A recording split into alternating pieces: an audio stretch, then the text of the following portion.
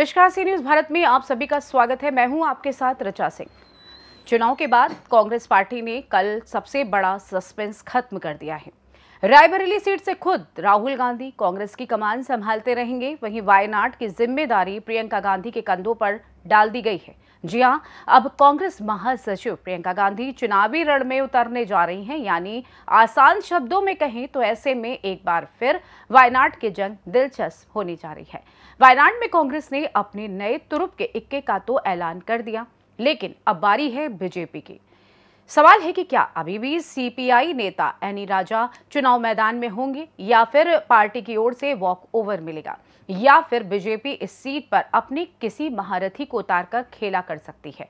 देखिए रिपोर्ट और जानिए चुनाव के बाद कैसे और भी ज़्यादा दिलचस्प होने जा रही है वायनाड की सियासी जंग। जब से लोकसभा चुनाव का रिज़ल्ट सामने आया है, तब से लगातार ये सवाल उठ रहा है कि रायबरेली और वायनाड सीट पर जिस तरह से कांग्रेस के राहुल गांधी को बम्पर जीत मिली है, उसके बाद वो कौन सी सीट पर बनी रहेंगे? राहुल गांधी ने भी असमंजस ज़ाहिर किया था कि वो नहीं समझ पा रहे हैं कि किस सीट को छोड़े और कहाँ से सांसद बने रहे। जिसके बाद राहुल गांधी ने कल फैसला ले लिया कि वो रायबरेली को चुनेंगे और वायनाड सीट को छोड़ देंगे, जिसके बाद ये भी साफ़ कर दिया कि वायनाड सीट पर प्रियंका गांधी कांग्रेस की कमान संभालते हुए फिर चुनाव लड़ेंगे। लेकिन सवाल ये है कि इस बार इस सीट पर प्रियंका गांधी को टक्कर देने कौन उतरेगा? क्या सीपीआई नेता एनी राजा चुनाव मैदान में होंगे या फिर बीजेपी कोई खेला करेगी। ऐसे में एक ऐसी बात भी निकलकर सामने आ रही है जो आपके होश उड़ा देगी। कहा जा रहा है कि बीजेपी कांग्रेस के इस फैसले का जमकर लाभ उठाने की फिराक में है। वो जानती है कि जब कांग्रेस से वायनाड की आधी जनता नाराज़ होगी तो उसका फ़ायदा उठाने के लिए इससे बेहतर कोई और मौका मिलने वाला नहीं है। दरअसल वायनाड से प्रियंका गांधी के चुनाव लड़ने के फैसले के बाद सोशल मीडिया समेत राजनीतिक गलियारों में चर्चा तेज हो गई है कि सीट से बीजेपी किसे उम्मीदवार बनाएगी। चर्चा ये भी है कि बीजेपी तेज तर्रार नेता स्मृति ईरानी को वायनाड सीट से उतार सकती है, जो अभी भी अमेठी से हारी है। अब भले ही स्मृति ईरानी इस बार अमेठी से के शर्मा के सामने लोकसभा चुनाव हार गई हो, लेकिन 2019 में वे कांग्रेस के गढ़ अमेठी से राहुल गांधी को हरा चुकी हैं। वहीं देश भर में स्मृति ईरानी की एक अलग छवि भी बनी हुई है।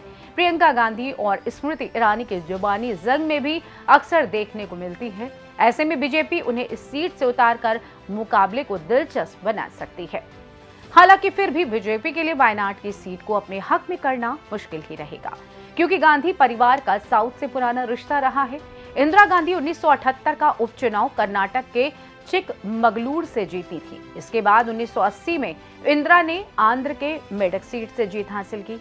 1999 में सोनिया गांधी ने भी अपना राजनीतिक करियर दक्षिण से किया था। वे 1999 में अमेठी और कर्नाटक के बेल्लारी सीट से चुनाव लड़ी थी और दोनों सीटों पर जीत हासिल की थी। 1999 में जब सोनिया गांधी के बेल्लारी से डेब्यू करने के बाद सामने आई थी, तब बीजेपी ने सीट से सुषमा स्वराज को टिकट देकर चुनावी मुकाबले को दिलचस्प बना दिया था। सुषमा ने सीट पर सोनिया गांधी को कड़ी टक्कर दी थी, हालाँकि वे इस चुनाव में हार गई थी। अब कुल मिलाकर देखा जाए तो उम्मीद जताई जा सकती है कि वायनाड में बीजेपी प्रियंका गांधी की टक्कर में अपनी किसी दमदार महिला नेता को ही उतारे। हालाँकि बीजेपी ने इस ओर अभी कोई इशारा नहीं किया है। वहीं राहुल गांधी अभी वायनाड में जीत को लेकर बुरी तरीके से पक्के नज़र आ रहे हैं, मगर अब देखा जाए तो बीजेपी भी इस बार मौका छोड़ने वाली नहीं है, क्योंकि वायनाड से राहुल गांधी का सीट छोड़ना जनता को बुरा ज़रूर लगा होगा। ऐसे में बीजेपी जनता को जीतने का प्रयास ज़रूर करेगी। हालाँकि वो प्रियंका गांधी की टक्कर में किसे उतारती है, ये वाकई देखना दिलचस्प होगा। फ़िलहाल के लिए इस खास रिपोर्ट में बस इतना ही। देश दुनिया की तमाम खबरों की जानकारी के लिए आप बने रहिए सी न्यूज़ भारत के साथ। हर खबर आपके साथ, आपके हाथ।